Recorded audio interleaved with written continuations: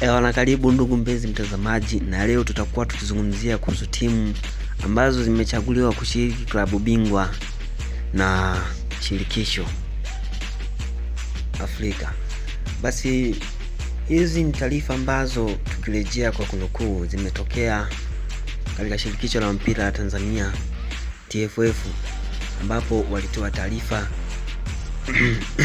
kuhusu kwamba nchi ya Tanzania imepata maendeleo makubwa hasa katika shughuli za kimichezo ambapo zimeongezwa timu na zimeongezwa kuwa nne ambazo zitashiriki katika michezo ya klabu bingwa na shirikisho kwa hapa Tanzania, na kama tunavyofahamu utaratibu wa, wa mechi hizo au timu timu hizo jinsi gani ambavyo zinachukuliwa, basi ni kwamba yule atakayechukua ubingwa yeye atashiriki, na kama tunavyofahamu hadi sasa hivi kwa ligi hii ya Tanzania, ligi kuu Tanzania Vodacom, ligi kuu ya Vodacom uh, imekuwa ikionyesha wazi kwamba atakayechukua ubingwa yupo na anafahamika.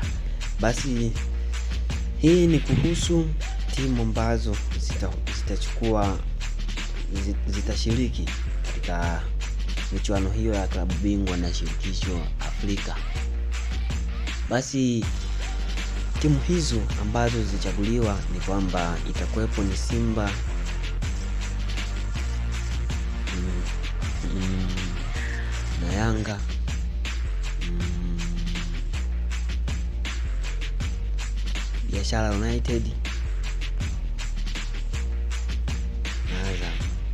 Hizo ni timu ambazo zimenukuliwa tu kwenye takwimu kwamba hizi zinaweza zikashiriki kutokana na maendeleo ya kwenye pointi zake za kwenye ligi zimekuwa zikionyesha kwamba hawa watu kidogo wanaweza wakashiriki, kwa sababu klabu bingwa Afrika huwa tunaangalia jinsi gani pointi walizonazo kutoka kwenye ligi kuu.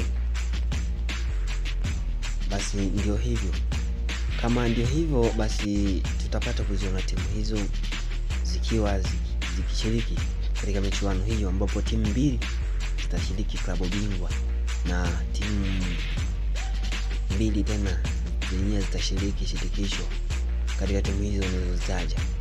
Basi mimi sina ziada. Asante. Kikubwa naomba uweze kusubscribe